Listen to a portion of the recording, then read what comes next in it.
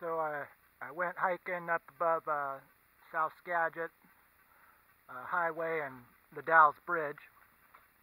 And I hiked up on this little ridge. And I come across a research area. And you can see here, this is a scratching pole for, uh, I guess it'd probably be a, uh, a mountain lion, some kind of cat. The scratch marks are pretty high. But, and these are, you can see some scratches in this tree. Um, a lot of them actually, pretty big scratches. We have another pole down in there.